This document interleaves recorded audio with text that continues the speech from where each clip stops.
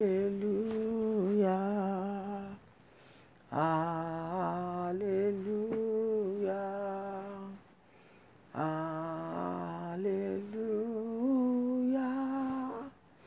For the Lord God Almighty reigns.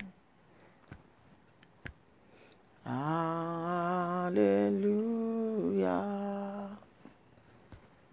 Hallelujah.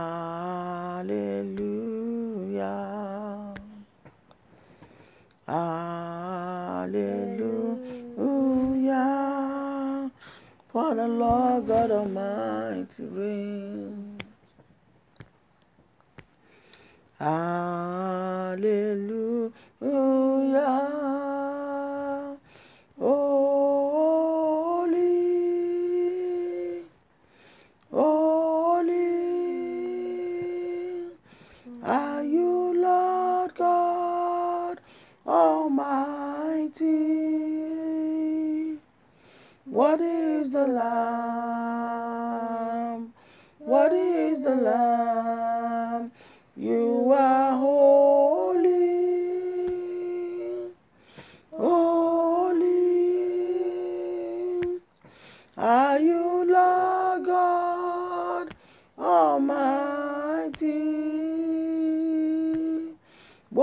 Is the Lamb?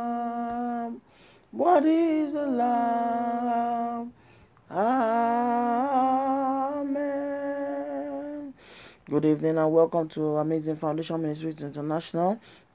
My name is Oluwalope Down saying, you know, we just want to give thanks to God tonight. We give, give give God all the glory, all the honor, all the adoration, because He's worthy of our praises. He's the King of all kings. He's the Lord of all lords. He has made it possible for us to be alive today. He has made it possible even for me and my family for us to come online. It's not by power, it's not by might, but by my spirit, says the Lord. It's only by grace. So, Heavenly Father, we just want to appreciate you. You know, give thanks on behalf of your family, give thanks on behalf of your home, your job, your ministry, your health, Father, your balance. Give thanks. Thank you so much, Lord Jesus. We appreciate you tonight. We say you are worthy of our praises in Jesus' name. You are worthy of all our honor. You are worthy of all our glory.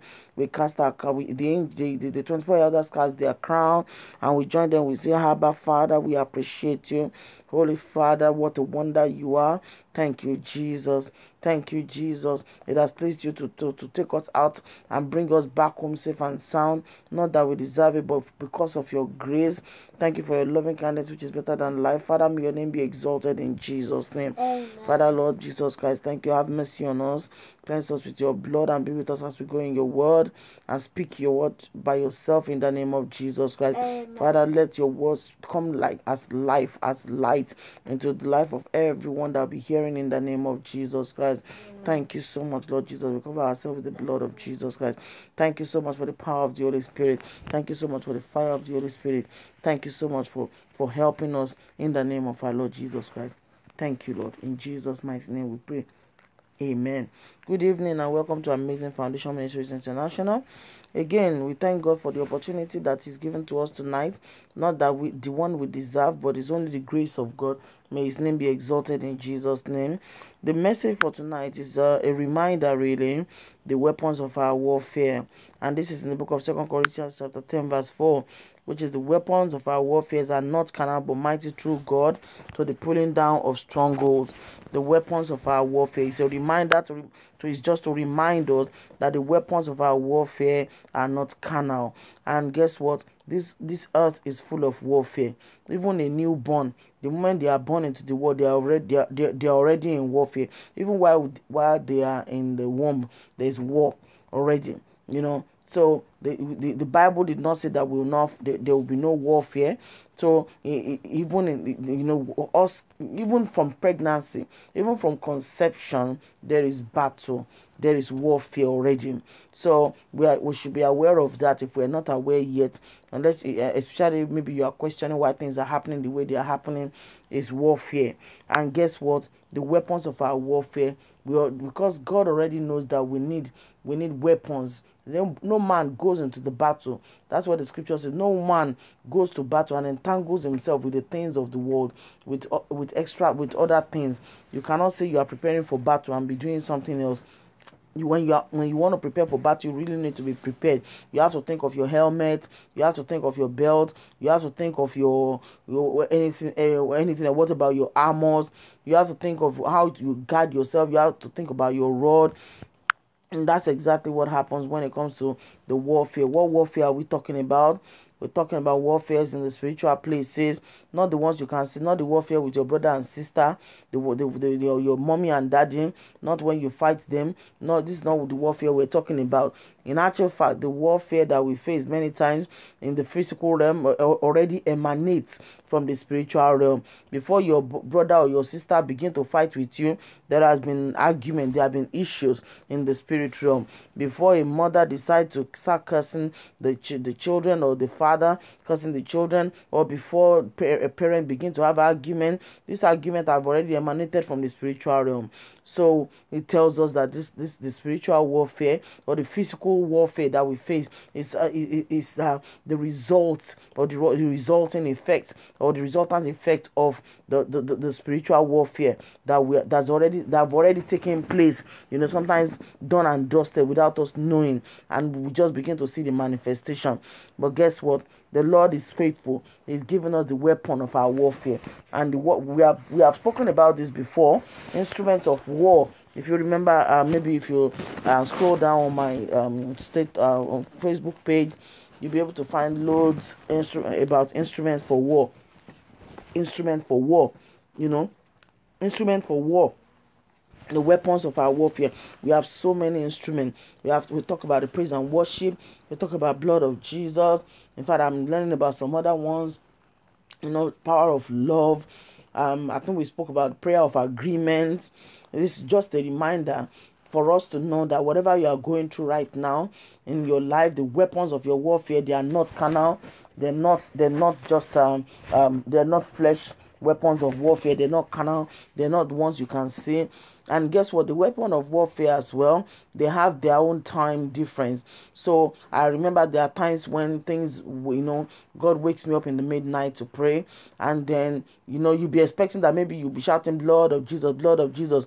No, there are times when it just tells me the name of Jesus, the name of Jesus, and it tells me how to even say it you know, he might just tell me to say Jesus, Jesus, Jesus, and I just keep mentioning the name of Jesus Christ, and you know, and the enemy flees. And sometimes he tells me blood of Jesus, and I keep saying it, and sometimes he tells me praise and worship over and over again, you know, until I get used to it to be able to do that. And I'm sure that there are many Christians out there that God is communicating with us in this same um, way. You know, the weapons of your warfare. You can't say, well, if I know only uh, I know only the scriptures. We have to listen in the spirit. If, because that is part of the definition of the weapons of our warfare are not carnal. We have to know which one to use. David could have used anything else, you know. But I'm sure it, it was the inspiration of the Holy Spirit that made David to get um to get um a stone and obviously to get his um his uh what's it called for for for for for for fighting the battle. He could have decided to use something else. Remember Saul tried to put armor on him all this all this armor they, they tried to get him equipped. What happened? He took everything out. He said no this is just too much. He's going in the name of the lord jesus. So we have to operate in the spiritual we have to listen to the holy spirit for whatever weapon that we want to use. You know because yes you can use everything. Anointing yes you know anointing breaks the yoke. We've got everything covered in the in the in, in, in the scriptures. But we have to be alert. We have to be in tune with the holy spirit so that he can tell us which weapon is useful for that one. You know you you, you want to you I, i'm trying to look for a very good example here. You know you want to you let's say you want to um sort out um uh, how would I say in in in the in the house for instance. Let's say the rats are really disturbing you want to you want to sort out rats and you go and get a, a, a cutlass you will sleep there because how do you how much time do you have to be running after rats you know? Whereas there is a trap. Can you see? So it's the wisdom of god that helps us to fight battles, the weapon of our warfare. But we need the wisdom of God to be able to understand the weapons to use at the right time. You know, sometimes He can just tell you to call upon fire. I've had the time before when He told me to be calling upon the fire of the Holy Ghost fire. So it's just a, uh, a reminder for us tonight, you know, that we should remember the weapons of our warfare are not carnal, but mighty in the Lord, even to the pulling down of strongholds. But we must be alert in the spirit to know which weapon to engage to know which weapon to engage and god himself will lead us in the name of jesus christ. And that's all we have for you tonight. God bless you. Have a wonderful night. As you go to bed listen to the holy spirit you know that battle that the enemy is uh, orchestrating against you without you knowing as you as you lie down the lord himself is going to speak to you. He's going to give you songs you know that no wonder that's uh that, that song is my song in the night. He's going to give you songs. He's going to speak to you but you have to be in the spirit. You have to listen so that because the battle is the lord. That's what it simply means that the battle is the lord. The battle is the lord simply means you listen to the holy spirit whatever he wants you to do and then you stand your ground, you stand firm, you take your own stand and allow God to fight. You cannot say the battle is the Lord's and then you're doing your own, you know. He wants you to keep singing or he wants you to, to, to keep shouting jesus jesus and you're busy. You're busy doing something else. You're busy trying to or understand your own way of fighting the battle.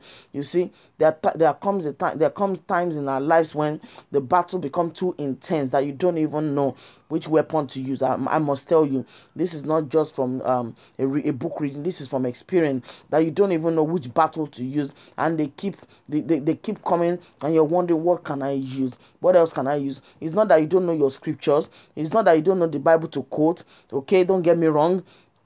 So it's not that you don't know the scripture, you don't know what to quote. This is not about that. It's about the fact that some you you, you shout the blood of Jesus, you fast and pray, you shout Holy Ghost fire, and you're wondering what's going on. Whereas God can just say to you, Excuse me, my, my, my daughter, excuse me, my son, I just want you to worship. And guess what? Without stress, without much stress, you just worship and the battle just subside. Let's be let's be in the spirit, children of God. God bless us. Have a wonderful night. Bye.